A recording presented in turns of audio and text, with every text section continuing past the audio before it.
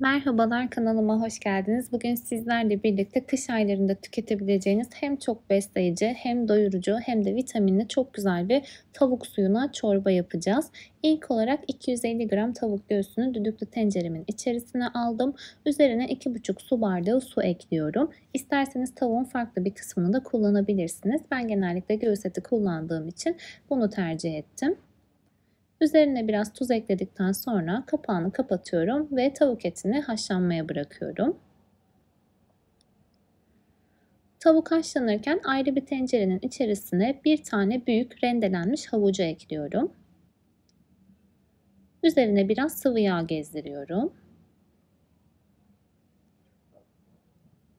2 diş de sarımsak ekliyorum. Havuçlar yumuşayana kadar kavuruyorum.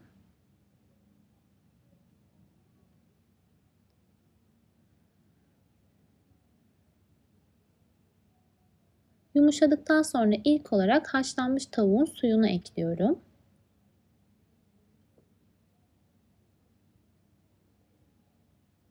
Üç su bardağı da normal sıcak su ilave ediyorum.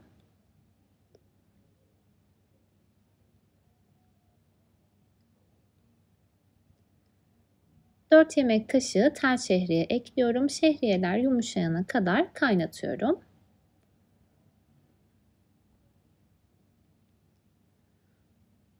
Şehriyeler pişerken kenarda çorbamın sosunu hazırlıyorum. Yani terbiyesini hazırlıyorum. 1,5 su bardağı yoğurdun üzerine bir yumurta sarısı, bir yemek kaşığı hafif tepeleme un ekliyorum ve bütün malzemeleri karıştırıyorum.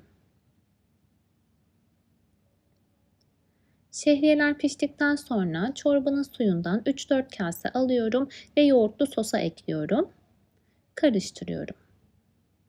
Bunu çorbanın kesilmemesi için yapıyoruz.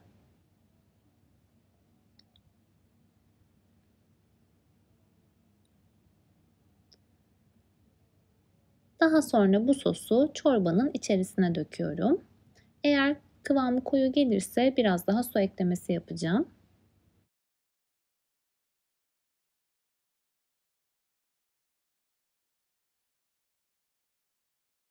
Biraz yoğun olduğu için bir su bardağı daha sıcak su ekledim.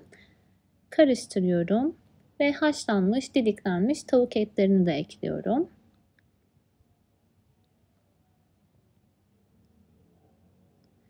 Son olarak üzerine biraz tereyağı, kırmızı toz biber ve nane karışımı ekleyeceğim. Onu hazırlıyorum.